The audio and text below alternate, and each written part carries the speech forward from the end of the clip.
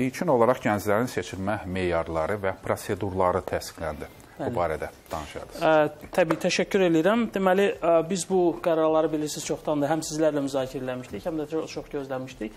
Ə, həm ə, se, ə, deməli ə, təhsil alacaq gənclərin seçilməsi, eyni zamanda onların ə, təhsillərinin, xarici təhsillərin maliyyələşməsi ilə bağlı qərarlar Nazirlər Kabineti tərəfindən bir yöndə təsdiqlənib və burada göstərilir ki, həm bakalavr pilləsi üzrə, həm magistratura pilləsi üzrə hansı ə, deməli mərhələlər tələb olunur, hansı sənədlər tələb olunur, seçim prosedurları necə həyata keçiriləcək ə, və bütün bunlar aydın şəkildə göstərilir və ə, detallar bir-bir danışa bilərik əlbəttə. İçərisində maraqlı məsələlər var.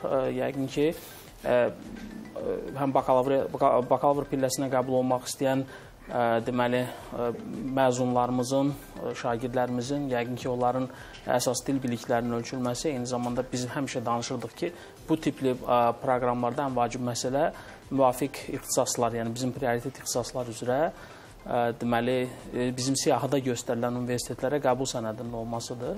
Ə, biz bu il üçün sadəcə biraz ə, müddət fərqi var. Yəni biz daha gec başlamışıq. Bu alt sənədlərimizin olmamasına bağlı idi. Amma ə, deməli hal-hazırda sözsüz ki, bizim xarici universitetlərə qəbul olmuş uşaqlarımız var, tələbələrimiz var və onlar yəqin ki, biz həftənin artıq birinci gündən iyun ayının 6-sından başlayaraq sənəd qəbulu elan edəcəyik, açılacaq. Bu elektron portal vasitəsilə həyata keçiriləcək. Orada hal-hazırda da bizim elektron resurslarımızda Xüsusilə də bir daha qeyd edeyim, dp.edu.az saytında bütün sənədlər, hansı sənədlər yüklənməlidir, hansı sənədlər ehtiyac var, lazımdır, onlar barəsində məlumatlar yerləşdirilib və dediyimiz kimi ən vacib sənədlər sözsüz ki, ə, qəbul sənədinin olmasıdır, həmin universitetlərdən, müvafiq universitetlərdən, eyni zamanda dil sertifikatının olmasıdır. Şərti qəbul ə Hə, şərti, qeyri-şərti fərqi yoxdur. Sadəcə əsas məsələ odur ki, qəbul olsun. Yəni ə, bu və ya digər formada qəbul olsun. Çünki adətən bəzi universitetlər şərti və yaxud da elə ə, bilavasitə qəbul həyata keçirirlər. Eyni zamanda dil sertifikatının C1 səviyyəsində olması müxtəlif dillər üzrə sözsüz ki, bu Avropa standartlarına görə biz C1 deyirik də buna. Amma ə, müvafiq sözsüz ki, hər bir e, dil sertifikatının özünün bal dərəcəsi və yaxud da qiymətləndirmə dərəcəsi var, ona uyğun olaraq olması lazımdır. Bakalavr dərəcəsində biz daha çox əlbəttə istəyirik ki, tələbələrimiz e, e, Dövlət İmtahan Mərkəzi tərəfindən həyata keçirilən qəbul imtahanlarında iştirak eləmiş olsunlar və müvafiq balları toplamış olsunlar. Əgər bu hal yoxdursa, o zaman e, deməli beynəlxalq e, sertifikatlı e, imtahanlar dediyimiz məsələn SAT ACT kimi imtahanlarda iştirak ilə müvafiq balları toplamış olsunlar, həmin sertifikatlar yüklənmiş olur və ə, bu və digər sənədlər toplandıqdan, ora yükləndikdən sonra ə, sözsüz ki, artıq seçim mərhələsi belə deyək də, qiymətləndirmə mərhələsi aparılır və bunun nəticəsində də tələbələr ə, bundan sonrakı növbəti mərhələyə, yəni müsahibə mərhələsinə buraxılmış olurlar. Burada bir neçə maraqlı məqamlarımız var. Əvvəllər də belə hallarımız var idi. Yəni ki, siz bilirsiniz ki, bizim müvafiq qaydalara uyğun olaraq ə, ə, beynəlxalq fənn olimpiadalarında iştirak edən və qızıl, gümüş, bürünc yer alan ə, namizədlərimiz adətən ə, mükafatçılarımız onlar adətən həm də universitetlərimizdə istədikləri ixtisasa qəbul oluna bilirdilər. Burada da hal-hazırda elədir. Yəni bizim ə, əgər belə ə, namizədlərimiz müraciət edə, edəcəklərsə, o zaman biz ə, sözsüz ki, onlar müsahibə mərhələsindən azad olunurlar Eyni zamanda daha bir yeniliyimiz də var. Bunu da qeyd edeyim. Yüksəliş müsabiqəsinin qalibləri üçün nəzərdə tutulub. Onlar da ə, deməli müsahibə mərhələsindən azaddırlar. Yəni birbaşa sənədlərini verib, sənədlərin uyğunluğu yoxlandıqdan sonra onlar birbaşa ə, belə deyə də maliyyələşməni həyata keçirə bilərik. Nicət bəy, üstünlüklərindən danışdıq. Yeniliklər nələrdən ibarətdir? Bu barədə məlumat verdiniz, amma kimlər iştirak eləyə bilməz? Ötən gün sosial şəbəkələri də Bəli. incələyərkən mən ən çox bu sualı e, gördüm ki, kimlər iştirak eləyə bilməz? Xüsusilə də universitetə girərkən 400-dən aşağı bal toplayanlar və s. kimi məqamlar müzakirəyə çıxarılırdı. Bəli. Əgər universitetlərdə bizim e, deməli ixtisaslar üzrə e, burada a, aydın göstərilib, deməli Əgər ə, e, müxtəlif ixtisaslara 400 və yaxud da 550 bal nəzərdə tutulur, bəzi ixtisaslar üzrə bu 400-dür, xüsusən texniki sahələr üzrə bu texniki texnoloji sahələr üzrə 400 baldan aşağı olanlar və eyni zamanda yəni Dövlət İmtahan Mərkəzi tərəfindən keçirilmiş imtahanlarda iştirak edib e, bu balı toplayanlar və və yaxud da digər ixtisas sahələri üzrə 550 bal müvafiq olaraq eyni belə deyək də ekvivalentlik gözlənilməklə SAT və ondan aşağı olanlar, e, SAT və ACT imtahanlarının nəticələrini bil, e, bilinənlər. E, bunlar e, sözsüz ki, belə deyək də biz ən yaxşı tələbələrimizin xaricdə təhsil almasını istəyirik.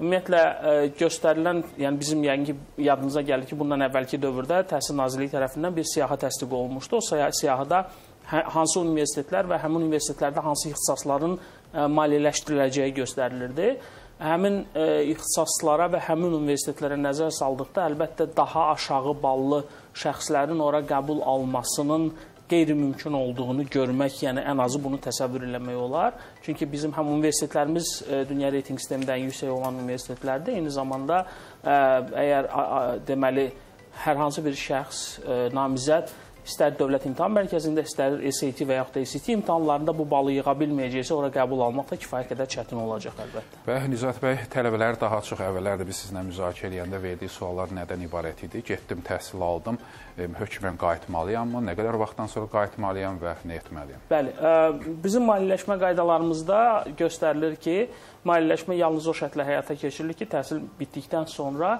5 il müddətinə az qayıdıb Azərbaycanda 5 il müddətinə işləmək ə, həmən qayıdıb 5 il müddətinə işləmək daha detallı olsun deyək. Təhsil bitən kimi qayıdıb 5 il Azərbaycanda işləməsi nəzərdə tutulur. Ya istisna halı yəqin ki, yalnız o halda olacaq ki, məsələn tələbə bakalavr pilləsini bitirib magistraturada artıq e, təhsilini davam elətdirir və yaxud da magistraturanı bitirib doktoranturada təhsilini davam elətdirir. Yəni təhsil müddəti sözsüz təhsilin fasiləsizliyini təmin etmək məqsədi ilə e, bitirdikdən həmən sonra qayıdıb 5 il işləmək məsələsi olmaya bilər, amma digər bütün hallarda demək olar ki, şəxslərin Azərbaycana qayıdıb 5 il müddətində Azərbaycanda işləməsi nəzərdə tutulur. Magistratura pilləsini bitirən doktorantura pilləsinə daha sonra müraciət edirsə, söylədiniz bu 5 il müddətindən hardasa azad ola bilər, amma Yox, 5 il müddətindən pillə... azad olunur. 5 il müddəti onun öhdəlik olaraq bilər. qalır, Elə amma bitirdikdən sonra ə, qayıdıb Azərbaycanda, yəni bitirən andan etibarən qayıdıb Azərbaycanda Hı -hı. işləməsi məsələsi sözsüz ki, bu aktuallığını o dövr üçün itirir və yalnız doktorantura və yaxud da müvafiq olaraq magistratura pilləsini bitirdikdən sonra qayıdıb edib yenə də. Amma bütün hallarda müqavilə öhdəliyi olaraq hə, hə, Azərbaycana qayıtması və 5 il müddətinə Azərbaycan üçün işləməsi nəzərdə tutulur. Nicat bəy, e, rəsm buyur, sualın 5 il müddət öhdəlikdir. Bəli, 5 il Oxudu, öhdəlik. gəldi. Onun Bəli. işlə təminatı Bəli. və ona uyğun işlə təminatı ilə bağlı elə nazirlik olaraq, dövlət olaraq nə eləyəcək? Əlbəttə, bu deməli hələ fevral ayında qəbul olunmuş, cənab prezident tərəfindən verilmiş sərəncamda dövlət proqramı ilə bağlı sərəncamda göstərilmişdi. Orada göstərilir ki, bitirmiş, məzun olmuş və qayıdıb Azərbaycana gəlmiş şəxslərin məşğulluğunun təmin olunması ilə bağlı ayrıca bir müddəa var. Bu müddəa ilə bağlı da ə, e, müvafiq məşğulluğun təmin olunması üçün deməli bir fəaliyyət planının hazırlanması nəzərdə tutulur. Fəaliyyət planı üzərində iş gedir, müzakirələr gedir hələ biz indi yəqin ki, sənəd qəbuluna başlayırıq. Ən azı bir neçə ildən sonra, bir ildən sonra ən azı ilk məzunlarımız olacaq. Onların müvafiq dövlət qurumlarında, özəl müəssisələrdə, yəni müvafiq yerlərdə özlərinin istədi, işlədikləri ixtisaslarına uyğun olaraq işinə təmin olunması üçün fəaliyyət planı hazırlanır və yəqin ki, o fəaliyyət planı hazır olduqda da onu da sizinlə tanış edəcəyik. Nicət bəy, əlbəttə ki, sənəd ə, təqdim olunması bu prosedurlarda şəffaflıq olur, amma daha sonra müsahibə mərhələsi olur və adətən tələbələr bu mərhələdən şikayətçi olurlar. Hesab eləyirlər ki, bəzi hallarda kiminsə tanışı və yaxud da hansısa bir üsulla bu seçimlər aparılır və şəffaflıq qorunmur. Sizdən səmimi şəkildə istəyərdim ki, məlumat verəsiz. Doğrudan da mı bu il həmin o şəffaflıq qorunacaq? Yəni müsahibə mərhələsində layiq olanlar keçəcəklər? Baxın, məsələ burasındadır ki, mən bu ə, bununla bağlı şikayəti yalnız mediadan eşidirəm. Mən təxminən 4 ilə yaxındır ki, bilavasitə, məsələn, ə, Azərbaycan gənclərinin hökumətlərarası təqaüd proqramları ilə xaricdə təhsilinin, eyni zamanda müxtəlif dövlət proqramları çərçivəsində 19-23 çərçivəsində, ondan əvvəlki çərçivədə xaricdə təhsilin müsahibələrinin bir bilavasitə belə deyək də ə, iştirakçısı və onun ə, Təhsil Nazirliyi tərəfindən təşkilatçılarından biri olmuşam və ə, həqiqətə deyim ki, mən öz praktikam ərzində demək olar ki, heç bir şikayətə rast gəlməmişəm. Ki kimsə desin ki, mənim müsahibəmdə mənə qarşı ədalətsizlik olub. Burada məsələn söhbət nədən gedir? Burada da açıq şəkildə göstərilir. Həmin müsahibələr çox rahat ə, belə şəffaf şəkildə həyata keçirilir. Orada həm Təhsil Nazirliyinin nümayəndəsi, həm ə, deməli ə, Dövlət Neft Fondunun nümayəndəsi, eyni zamanda müvafiq ixtisas sahəsi üzrə, yəni sahələr üzrə nazirliklərin və yaxud da dövlət qurumlarının nümayəndələri, məsələn deyək ki, IT üzrə gedirsə, müvafiq qurumun nümayəndəsi və eyni zamanda bir neçə də həmin sahənin bilavasitə ekspertləri oturur. Və sonra onlar müstəqil şəkildə hər biri həmin namizədi qiymətləndirirlər. Qiymətləndirmə mexanizmimiz, şkalamız aydın şəkildə göstərilib. Hansı meyarlar üzrə qiymətləndirmə həyata keçiriləcək? Bu ixtisas biliklərdir, məntiqi mühakimə bacarıqlarıdır, dil bilikləridir və eyni zamanda kommunikasiya bacarıqlarıdır. Bu bacarıqlar üzrə qiymətləndirmə aparılır və hər ekspert tərəfindən, yəni orada iştirak komissiya üzvləri tərəfindən ayrı-ayrı şəkildə aparılır. Sonra müvafiq düsturumuz da göstərilir. Müvafiq düstura uyğun olaraq həmin ballar hesablanır və aydın e, e, şəxsə təqdim olunur ki, bu hesablanmış nəticə bundan ibarətdir. Adətən bununla bağlı heç bir bizim problemimiz demək olar ki, heç yox. O zaman biz gənclərdən xahiş eləyəcəyik ki, bizə yazan və yaxud da ümumi sosial şəbəkələrdə e, danışan gənclər həm də sizə müraciət əlbəttə, eləsinlər, bildirsinlər əlbəttə, şəffaflıqla bağlı. Əlbəttə. Böyük məmnuniyyətlə biz həmişə onları dinləməyə və sizi də dinləməyə hazırıq. Artıq e, birinci gündən müraciətlərə başlanılır. Namizədlərə 20 gün vaxt verilib. 20 gün nəyə uyğun olaraq e, formalaşdırılıb və bir də nəticələr nə vaxt açıqlanacaq? Bir daha xatırladaq. Burada nəzərdə tutulur ki, deməli sənəd qəbulu prosesi, yəni ki, biz sənəd qəbulunu bu il daha intensiv şəkildə həyata keçirməli olacağıq və müraciət edildikdən sonra adətən bizdə nəzərdə tutulur ki, tələbə və yaxud da namizəd müraciət eləyir. Əgər onun sənədlərində hansısa problemlər ortalığa çıxırsa, o problemlərlə bağlı onun şəxsi kabinetində müvafiq məlumat göstərilir. Ondan xahiş olunur ki, iş, iş günü müddətində onu yeniləsin və ə, yenilədikdən sonra, yəni məsələn olsa ha, ola bilər ki, hansısa sənəd çatışmazlığı olsun. Yəni bizim məqsədimiz ondan ibarət ki, ə, ə, yaxşı interaktiv ünsiyyət qura bilək və hansı sənəd çatışmazlığı varsa onu ə, anında aradan qaldırmış olaq və bundan sonra ə, deməli qaydada nəzərdə tutulduğu kimi 20 iş günü müddətində orada ə, sənədlər nəzərdən keçirilir, baxılır və Bundan sonra müsahibə mərhələsi təşkil olunur. Müsahibə mərhələsi ardıcıl olaraq bitdikdən sonra yerləşdirmə prosesi, yəni bal müvafiq e, müsahibə nəticəsində əldə olunmuş ballara və yaxud da müsahibədən keçməyən şəxslərin bilavasitə yerləşdirilməsi ilə bağlı elektron kabinetdə məlumatlar olacaq. Yəqin ki, biz bu proseslərin hamısını ə, ən qısa müddətdə iyul ayı, avqust ayı ərzində bitirmiş olacağıq ki, artıq şəxslər ə, müvafiq məlumatları həm qəbul aldıqları universitetlərə ötürə bilsinlər ə, və bunun nəticəsində ə, yəni adətən belə deyək də universitetlər gözləyirlər maliyyələşmənin həyata keçirilməsi və s. və eyni zamanda da bir çox dünyanın təhsil müəssisələrində avqustdan təhsil başlamış olur ki, ə, bizim təhsilimizdə, yəni həmin tələbələrin maliyyələşməsində axsamalar olmasın. Hı -hı. Nicat bəy, e, təqaüdlərə nəzər yetirdikdə Birləşmiş Ştatlarda məsələn bu 1800 dollar olaraq nəzərdə tutulub, Türkiyədə 1300 dollardır.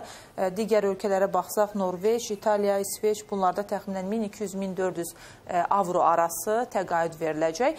Əslində kifayət qədər yaxşı e, rəqəmlərdir. Yəni bir gənc istənilən halda gedib bu məbləğlə rahat şəkildə bir ayı başa vura bilər. Amma məni düşündürən məqam Türkiyə və e, Birləşmiş Ştatlar arasında bu qədər belə deyim az fərqin olması. Türkiyə ilə bağlı 1300 dolların nəzərdə tutulması e, hansı meyarlar əsasında müəyyənləşir? Gəlin belə danışaq. Səhv eləmirəmsə, burada söhbət ondan gedir ki, biz e, e, deməli ə, Amerikanın özündə də diferensiasiya aparmışıq. Yəni Amerika Birləşmiş Ştatlarında, Vaşinqton, New York və s. Deməli ə, şəhərlərimizdə daha yüksək, digər şəhərlərdə isə daha az məbləğ nəzərdə tutulur.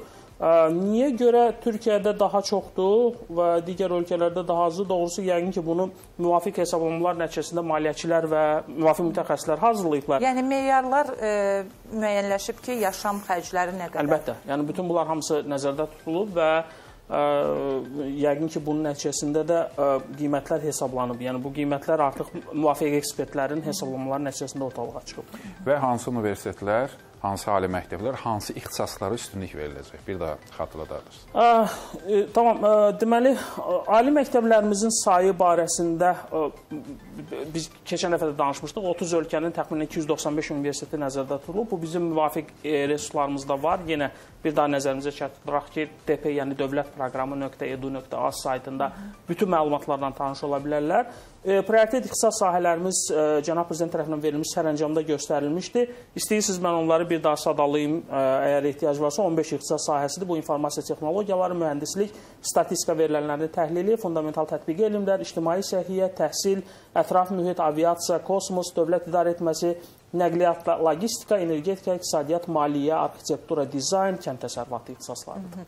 Necət bəy, son olaraq bir sualı da istəyərdim verim. Əlbəttə ki, bu saytda da dərc olunub, amma sizdən eşitmələri daha yaxşı olar. Hansı xərclər qarşılanır? Bilirik ki, təkcə təhsil xərcləri və aylıq təqaüd verilməyəcək. Digər məqamlarda xırda detallara da toxunulacaq. Əlbəttə. O haqda da məlumat verərdiniz. Təşəkkür eləyirəm. Ə, sizin də dediyiniz kimi mütləq olaraq təhsil haqqları nəzərdə tutulur. Onların qarşılanması tam şəkildə, yaşayış xərclərinin ə, qarşılanması nəzərdə tutulur. Bu sizin də dediyiniz kimi maliyyələşmə qaydalarında artıq müəyyən olunub ki, hansı ölkələrdə nə qədər nəzərdə tutulur. Bunun eyni zamanda beynəlxalq nəqliyyat xərclərinin ödənməsi nəzərdə tutulur. Bu deməkdir ki, hər bir tələbəyə ildə bir dəfə gediş-dönüş təşkil olunacaq və bu proqram tərəfindən qarşılanacaq. Eyni zamanda tibbi sığorta xərcləri ödənilir, viza, rüsum, qeydiyyat xərcləri ödənilir və bir də sözsüz ki, adətən bizim tələbələrimiz plastik kartlar vasitəsilə pullarını alırlar, yəni yaşayış xərclərini və digər xərcləri alırlar. Ya həmin o plastik kartların da